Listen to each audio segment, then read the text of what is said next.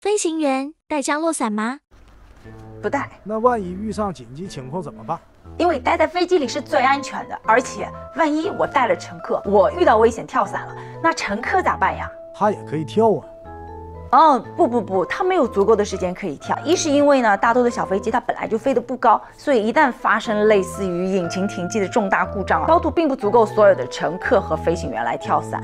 那第二呢，小飞机自身重量很轻，滑翔的功能相对比较好，所以找到一块合适的地方迫降更现实也更安全。